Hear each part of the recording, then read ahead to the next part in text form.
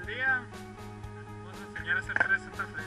Primeramente para hacer un 360 flip, lo que es muy importante es cómo acomodas tus pies.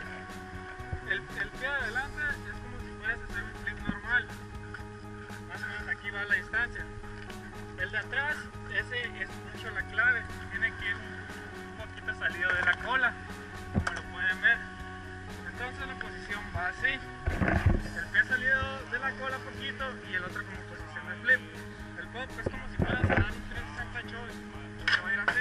Mientras que tu pie adelante lo vas a tirar como un flip normal, sería algo así. Cuando lo giras tienes que esperar a que gire completamente.